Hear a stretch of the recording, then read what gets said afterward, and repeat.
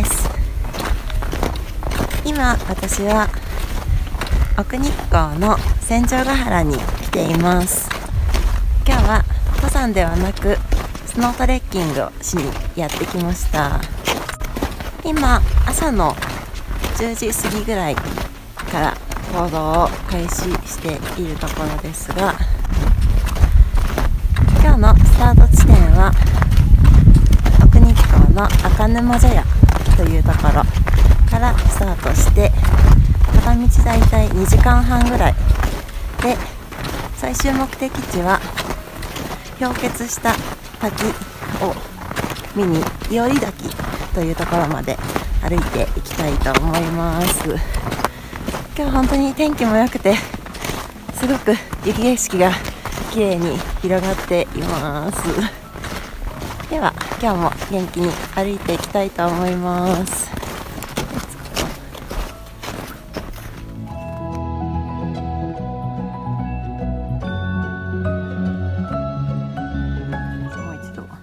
今日のコースは赤沼茶屋からまずは弓張峠をに向けて歩きます。でそこから伊織滝という滝に歩いて行って同じコースを戻ってくるというコースになります。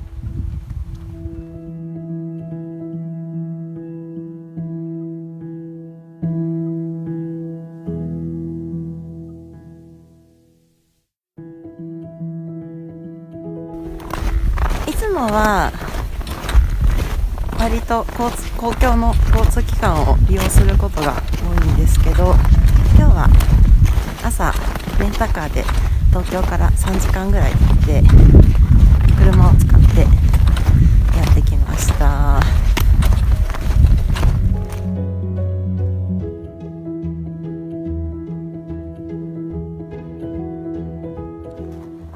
道はかなり踏み固めてあるのでかなり歩きやすいです。今日は装備的にはあの6本爪のアイゼンを履いてます。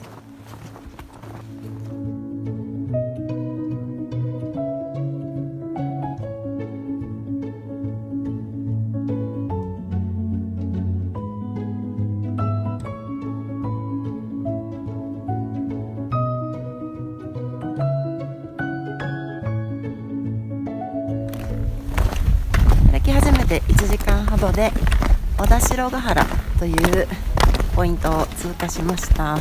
夏は湿原になってるみたいです。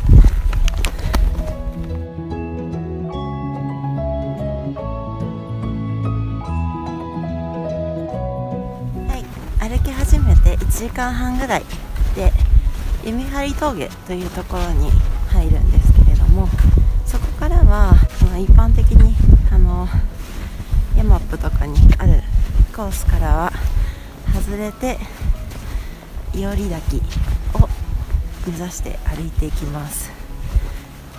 弓張峠を越えるとかなり道もトレースが少なくなって歩きにくいコースになってきました。ここからが本番という感じでしょうか。ちょっと気を引き締めて。きたいと思います。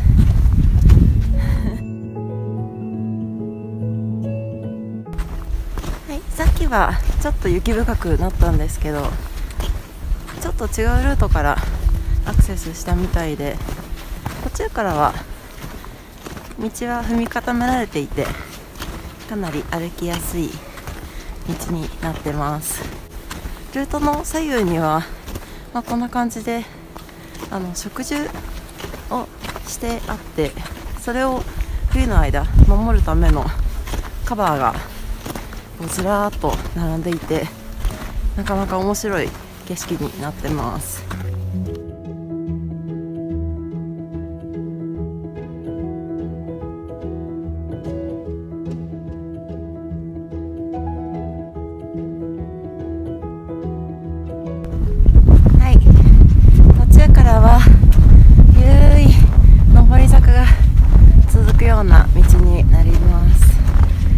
か慣れない雪道なのでちょっと体力を奪われてバテてきておりますが頑張って登っていきたいと思います。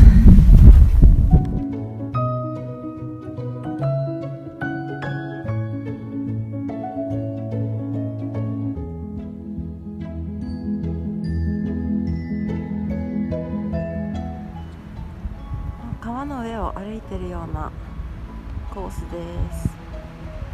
ここが夏は川なんですね。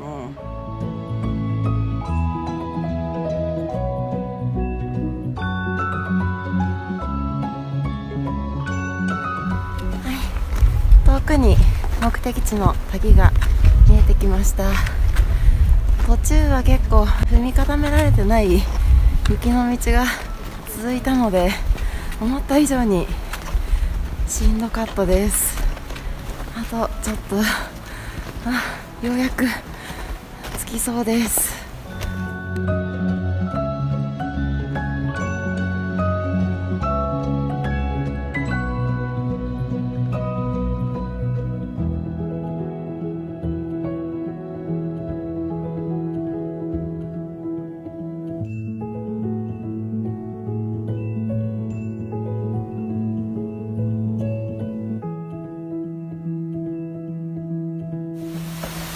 の裏側に入り込んで見ることができます。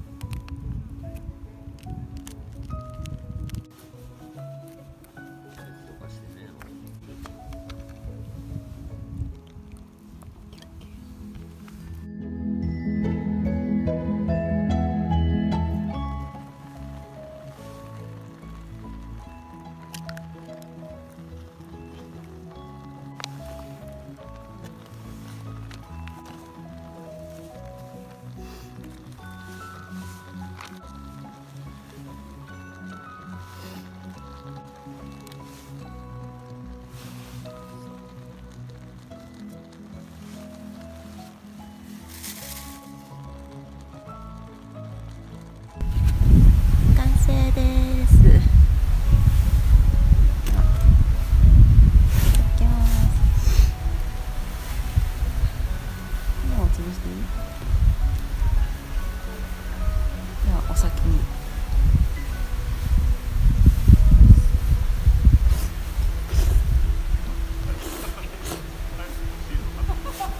うん。おいしい。うん、美味しい。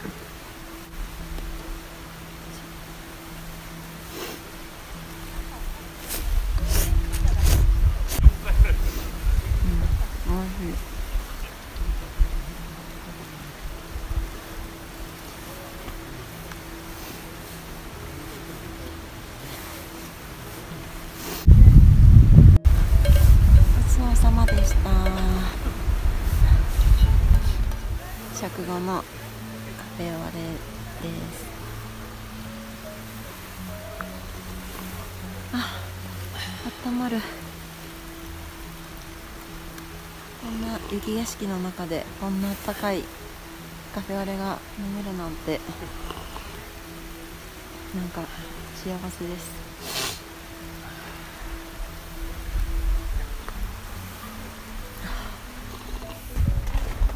はいでは。お昼ご飯も食べたので下山していきたいと思います。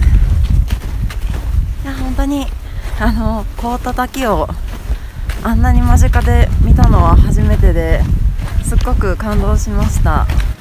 割とたくさんの人が訪れている感じなので道もそれなりに踏み固めてあってスノートレッキングとかあの凍った滝を見たいという方には割と行きやすくておすすめかなと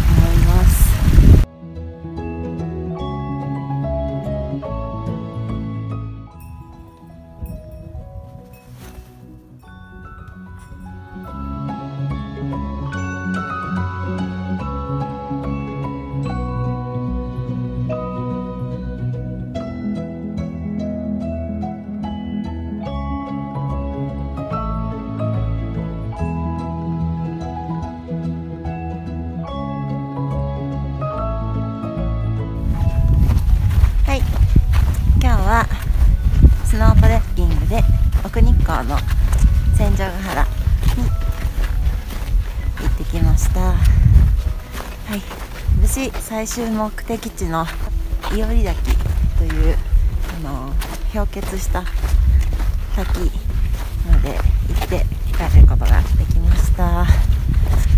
伊織滝は本当に凍ってる姿が美しくてでちょっとこう青みがかっていて本当に神秘的な氷瀑でした。はい。で滝のこう裏側にまで入り込めるのでかなり近くで滝のあの凍った様子を 見ることができるので初体験というかこんな近くで凍った滝を見たのは初めてですごく感動しました。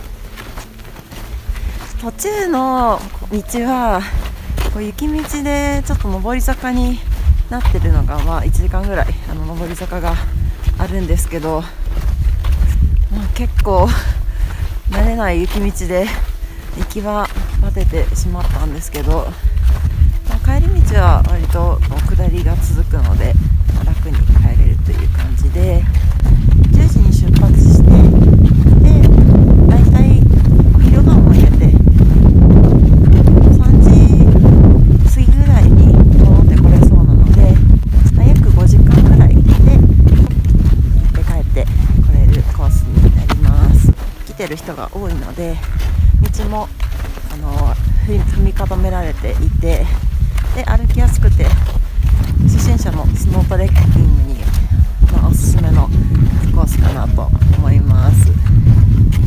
はい。では今日の動画はこの辺りでおしまいです。また次の動画でお会いしましょう。またねー。